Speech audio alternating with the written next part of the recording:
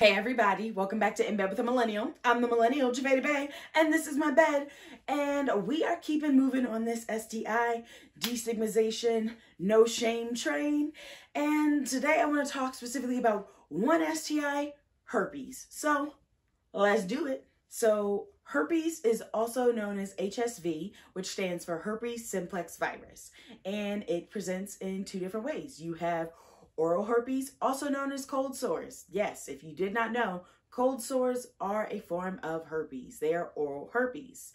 And then you also have genital herpes, which means that they show up in the genital region. That can be anywhere from the, like, around the clitoris, along the labia, um, around the vaginal opening, um, all the way down to the perineum, stretching and hitting the um, anus. And on the penis, it can be on the head of the penis, the shaft of the penis, the scrotum, anywhere in the genital region. That is where genital herpes can live, exist, present itself, all of those different terms. Um, and when it comes to herpes, HSV, it's important to note that if there is an outbreak, outbreaks don't always necessarily occur at the exact same spot every time. So if you were to have an initial um, herpes outbreak on your mouth and it was on the left side of your mouth, like right here in this little corner, um, the next time you got an outbreak, it could potentially be sitting here on the right side, on the bottom right side, or it could be sitting in the middle.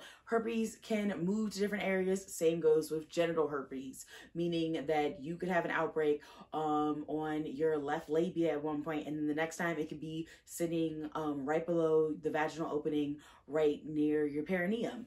Vaginal, um, not that. herpes outbreaks can move um, oh, within the region that they exist. Um, so they may not always show up in the same spot. Some important things to know about herpes or HSV. Most folks with herpes or HSV are asymptomatic, meaning they might not have an outbreak ever for a very long stretch of time. Like it differs. Everybody's body is completely different. So it's important to know that you could have herpes and not know it because you have never had an outbreak or shown any symptoms. Um, and most people are in the same boat. So now that we know what herpes is, how common is it? Ha! Very. Extremely. So common that it makes no sense that people react and respond to herpes the way they do. Um, so 67%, yes, 67% of the global population has HSV1. 67% of the global population. There are over 1 billion people on the planet Earth. I wish I knew the exact number, but I don't. Over a billion people, and 67% of over a billion have HSV1. That is how common it is. Now we're getting more, a little bit more micro. Um, within the United States, 50 to 80% of Americans have HSV1. 50 to 80%. It's really hard to actually know the exact number because herpes testing is not done with every STI panel. Um, but 50 to 80%. 50 to 80%. So once again, it is extremely common. And then one out of six people in the United States, ages 14 to 49, have HSV2. One out of six. One out of six people. Again, not good with math, but like that's a pretty high number considering that there are billions of people in the world and a lot of them live in the United States. So, more common than you probably thought. So, why do we stress about it the way we do? Why do we act like it's like, oh my goodness, when majority of people probably already live with HSV? Stigma and shame is why. Um, and I would personally like to blame the film John Tucker Must Die. I know for a fact that that is where a lot of the terrible beliefs and views I held around herpes came from. That movie, when I saw it in the early 2000s, left a scarring idea on me around how bad herpes is and like, OMG, no. So, screw you, John Tucker. Um, yeah, that movie, very bad. But it's so common. So understanding what it is and how common it is, how is it actually transmitted? Because it has to be transmitted for it to be so common, correct? Yes. Um, close contact, just like with almost all other STIs, it's gonna happen from engaging with another individual who already has um HSV or herpes. Um, and so this is going to be either from genital to genital contact or oral to genital contact. So this is how a lot of folks who um, have genital herpes actually get genital herpes is because someone who has oral herpes, aka cold sores, um, is probably performing oral sex on them. Um, and it is transmitted, which is why it's important to disclose that you have oral herpes, aka cold sores, because if you perform oral sex on somebody and you have cold sores and then you can transmit herpes to them and it will live on their genitals. Um, so it's extremely important in the disclosure aspect to actually say like, oh, I have cold sores. That should not be something neglected if you engage in oral sex. It should still be disclosed. Um, but it can also be transmitted through genital to genital contact, so penetrative sex, anal sex, um, scissoring can all transmit um, herpes as well. So knowing that it can be transmitted this way, a lot of people probably are not engaging in sexual activity during an outbreak. So, Jave, how is it being transmitted? Shedding. Shedding is how herpes is actually transmitted um, to a lot of people. And since most people are asymptomatic, especially when they're shedding, you don't know that you're transmitting it, but you can be. So, what do you mean by shedding and asymptomatic?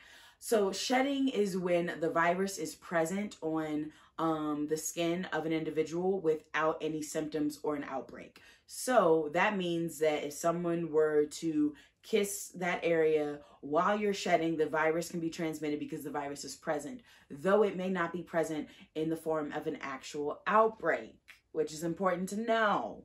Um, also, it's important to know that shedding occurs according to a study done. Um, citation here. um, so, according to a study done, asymptomatic shedding occurred in 30% of the days of an individual within like a year of their life. So 30% of the days. So it's not like an everyday thing. Like the virus is not always present um, asymptomatically, but 30% of those days it can be. Um, so that is when it is transmitted, can be transmitted, and you more than likely do not know unless you were actively like testing to see if like the herpes virus is present, which you're not unless you're a doctor and maybe you have access to that. But typically you don't know that. Um, so that's why it is important to one, like understand like STI testing, getting STI testing, disclosing that information, but also barrier methods and things of that nature. Um, that first year is when you it is more highly transmissible for someone who just contracted herpes. Um but all of this is not to like scare you like oh my goodness it's to let you know like it's super common also asymptomatic so you may not even know. Also like you can't pass blame on people because as you know herpes is not regularly tested in an STI panel. Meaning if you were to go to your doctor today and be like hey I would like to get a full STI panel done they would leave off herpes. Most doctor's offices do. They typically only test if you come in with open sores or lesions and then they'll swab it and they'll be like, oh, you have this strain of herpes. Um, but they're typically not going to do a blood test. One, because of how common it is. Why cause panic and worry and hysteria in folks if it is something that is this common? Two, you would not necessarily be able to pinpoint, like, oh, this is when you got it, how long you've had it, all of those factors. It just could create more worry for some people. Um, so it's important to pay attention and notice. Like if you know that you have cold sores already, being honest and disclosing that information because it is transmissible as herpes. And if you're engaging in oral sex, it can lead to genital herpes. Um, but also, if you're like wondering, you can ask your doctor. You can just straight up be like, hey, I know that you typically don't include herpes on um, an STI panel, but I would love it if you could actually test to see if I do have either strain of HSV present already, and then you have a peace of mind in knowing. Um, but it's typically not going to be on a testing panel um, because most people won't know unless they actually have an outbreak. And then that's when you go to the doctor and you get the medicine. Um, so just know it's extremely common so so common. Herpes is so common. Um and it's also extremely manageable. If you do end up um contracting herpes there are medicines you can take um especially for genital herpes to prevent outbreaks or to shorten or lessen the pain of outbreaks and things of that nature. And as we all know from TV, there are a wide variety of different cold sore medicines and things of that nature. Um, but the moral of the story here is that one, herpes, super common. Two, herpes easily spread because a lot of folks are asymptomatic and shedding is something that you cannot know you were doing at the time. Three, it's manageable. Herpes is manageable. It is not the end of the world. And four, the film John Tucker Must Die is really crappy for the way it portrays herpes and puts shame around it. And there is no need for that at all. Um, so yeah. What other questions do you have about herpes? Let me know. Drop them in the comments. Send me an email all that jazz. Um, but definitely make sure you're subscribed to my YouTube channel. You are following me on Instagram and TikTok. You are subscribed to my email newsletter. And you come back next week for an all new episode of In Bed with a Millennial because it's going to be good. And yeah, I'm going to see y'all later. Deuces.